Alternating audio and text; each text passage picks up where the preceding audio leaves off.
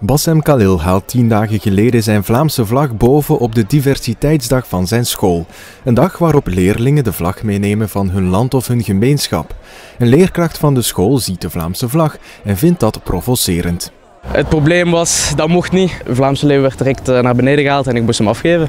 Ik vind het belangrijk dat we kunnen zeggen dat wij voor de Vlaamse identiteit staan, dat we ervoor respect hebben, dat we ons zo kunnen voelen. En als het zo wordt afgepakt op een school waar eigenlijk het eh, vooral neutraal moet zijn en waar een dag zoals diversiteit over op eh, alles geaccepteerd moet worden, dan vind ik het niet echt kunnen. NVA deelt de mening van Bassem en trekt vanmorgen naar de school met de mascotte en met een Vlaamse vlag. De twee Tiense NVA-schepenen zijn aanwezig en ook boegbeeld Theo Franke. Zij willen een uitleg van de school. Ik denk dat zij vooral met de leerlingen in overleg moeten gaan. Dit heeft eh, voor heel veel ophef gezorgd. Uh, is nu nationaal nieuws, dus ik hoop dat zij ook een goede uitleg hebben hoe dat zij naar Vlaanderen kijken. Uh, en als dat inderdaad is dat zij denken van ja, een Vlaamse leeuw dat is provocerend, dat is slecht. Een Vlaamse leeuw is het officiële symbool van Vlaanderen. Er is helemaal niks provocerend aan. Maar ik denk dat het echt een misverstand is dat dat van ons niet mocht. Dan, maar waarom is het dan afgenomen als het niet mag? Maar dat is een actie gebeurd van één leerkracht.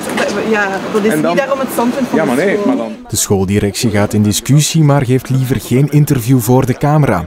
Later komt er wel een persmededeling waarbij de school zegt dat het gaat om een zwarte Vlaamse leeuw die volgens haar symbool is voor de Vlaamse ontvoogding en dus politiek geladen is.